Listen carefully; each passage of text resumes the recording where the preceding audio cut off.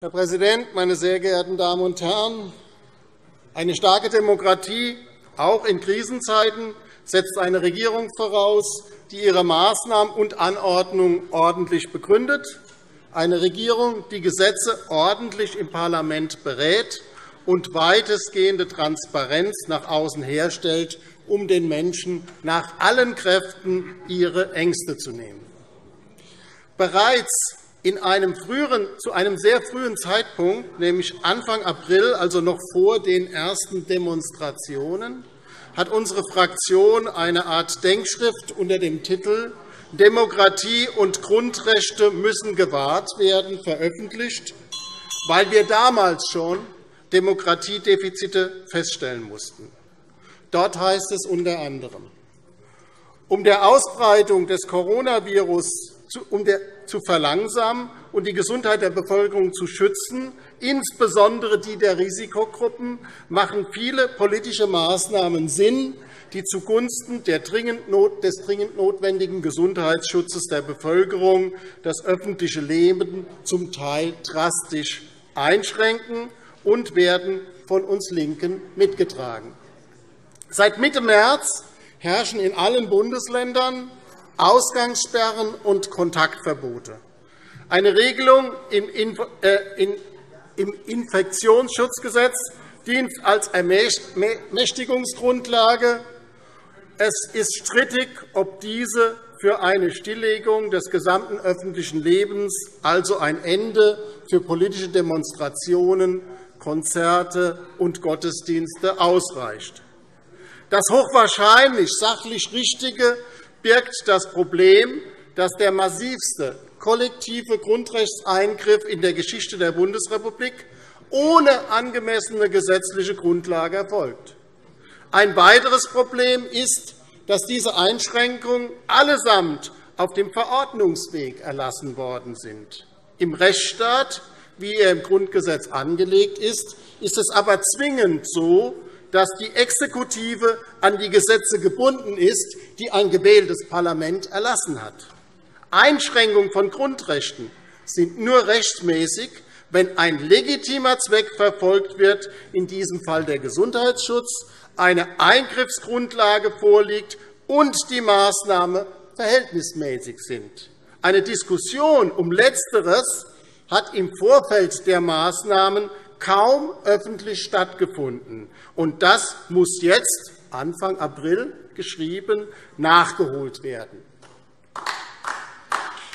Bereits Ende März erreichten mich zahlreiche Anrufe und Schreiben, wo sogenannte Bürgerinnen und Bürger, oh, Entschuldigung, wo besorgte Bürgerinnen und Bürger, die ich nicht als Verschwörungsideologen einschätzen würde, sich Sorgen um die Demokratie und die Mitbestimmung in Deutschland machten. Man muss auch kein Verschwörungsideologe sein, um die Maßnahmen des Landes und der Bundesregierung in der Corona-Krise kritisch zu hinterfragen. Denn die Anordnungen der vergangenen Wochen sind zum Teil sehr widersprüchlich und in Hessen vielfach auch nicht ordentlich begründet. Nehmen wir die heutige Debatte zur Verlagerung der Entscheidung zur Aufnahme von Kindern in die Kitas auf die Träger. Das ist kein Demokratiegewinn, meine Damen und Herren, sondern ein Wegdrücken von unbequemen Entscheidungen.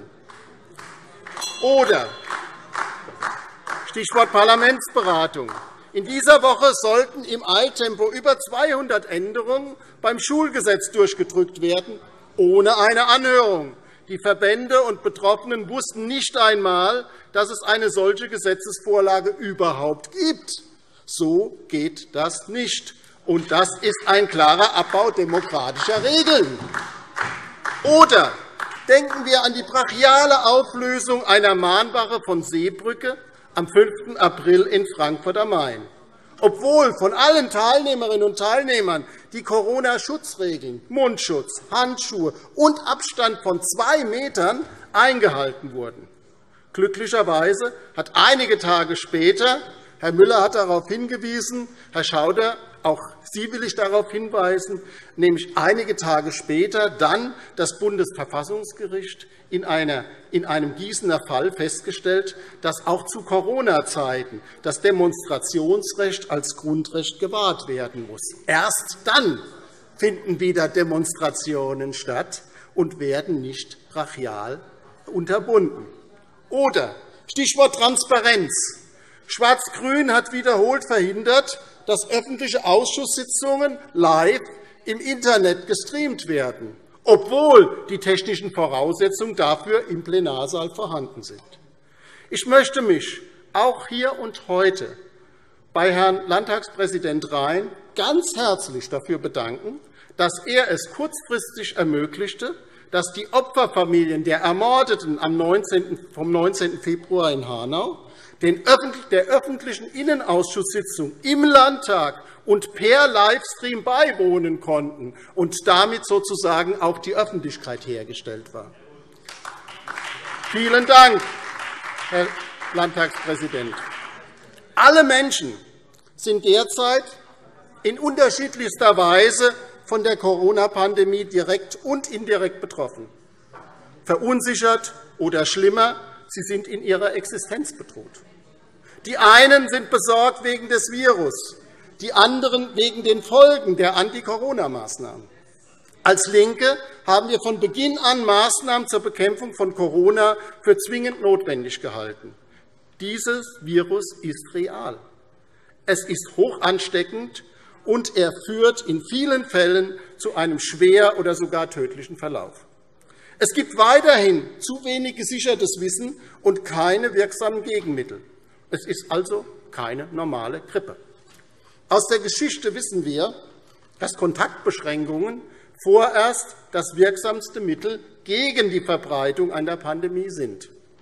Und deshalb stehen wir mit der übergroßen Mehrheit der Bevölkerung dafür ein, das Virus mit klaren Anweisungen und begrenzten Kontaktbeschränkungen so lange in Schach zu halten, bis medizinische Gegenmittel gefunden sind. Das ist auch nee, das genau das, genau das. Das Land muss in der Frage TITA äh, die, äh, äh, die Vorgaben machen und das nicht abdrängen, Herr Müller. Ja? Das ist doch der Punkt. Und das ist eine Verlagerung nach unten der Verantwortung. Das ist ja hinreichend heute diskutiert worden. So. Im Übrigen ist diese Frage auch keine Frage von links oder von rechts, von christlich oder sozialistisch, von freiheitlich oder ökologisch. Sie ist einfach eine Frage der Vernunft, wie man mit dem Virus umgeht. Es gibt ja Länder, die leider einen anderen Weg gehen. Diese Länder zum Beispiel die USA, Großbritannien oder Brasilien führen inzwischen leider die Infektions- und Todeslisten durch Corona an. Donald Trump hat in den USA genau das gemacht, was Gegner der Corona-Maßnahmen auch hierzulande fordern. Erst den Virus leugnen und gegen Schutzmaßnahmen kämpfen und dann ihre Ratschläge erteilen, wie Desinfektionsmittel trinken oder sich in die Sonne legen. Ich kann den Menschen in den USA nur wünschen, dass sie sich schnell von beiden erholen mögen, vom Virus und von Donald Trump. Und damit sind wir dann bei den Verschwörungsideologen, die es auch hierzulande gibt. Wer sich nun mit absurden und infamen Äußerungen hervortut, um zunächst Angst und Falschinformationen zu verbreiten, um aus Corona noch einen eiskalten Nutzen zu ziehen, der ist genau das, ein Verschwörungsideologe. Hier ist die politisch extreme Rechte natürlich wieder ganz vorne dabei. vor Corona wurde schon die Umvolkung beschworen, weil ein angebliches Kartell aus Lügenpresse und Parteien die Bevölkerung austauschen wolle. Nun, mit Corona stehen Bill Gates, das sogenannte Merkel-Regime und die Pharmaindustrie in deren Fokus. Sie wollen angeblich alle Menschen zwangsimpfen und, die Nano und mit Nanorobotern infizieren. Verschwörungstheorien gibt es wie Sand am Meer. Sie erfreuen sich erstaunlicher Beliebtheit. Und von Tempelrittern und dem Heiligen Gral und dem angeblich vorausgesagten Weltuntergang im Maya-Kalender über die Behauptung, dass Bielefeld, die Bundesrepublik oder die Mondlandung nicht existierten oder vorgenommen wurden und vieles mehr. Der Fantasie sind keine Grenzen gesetzt. Der Wissenschaft den Menschen, der Politik und der Vernunft zu widersprechen und dabei als Beleg das Internet, das eigene Gefühl oder eine außerhalb der Wissenschaft stehende Quelle zu nennen, ist teils stark ausgeprägt, auch auf der rechten Seite dieses Hauses. Wer behauptet, Corona wurde von Juden erfunden, um uns zu unterjochen, oder die Anti-Corona-Maßnahmen seien wie Hitlers Ermächtigungsgesetz, der verbreitet Judenhass und relativiert die Verbrechen des Nationalsozialismus auf nicht hinzunehmende Art und Weise. Kollege Hermann Schaus muss zum Schluss kommen. Und deshalb kann ich nur warnen, diese Szene einfach als Randphänomen und verrückt abzutun, so wie es mit der rechten Szene und den Reichsbürgern leider viel zu lange passiert ist. Wir dürfen uns diesen Diskurs nicht von den Verschwörungsideologen, Neonazis und Antisemiten aufzwingen lassen. Und deshalb schließe ich mit einem schönen Spruch, den, mit einem Spruch, den ich auf einer Gegendemonstration gelesen habe. Den finde ich sehr passend.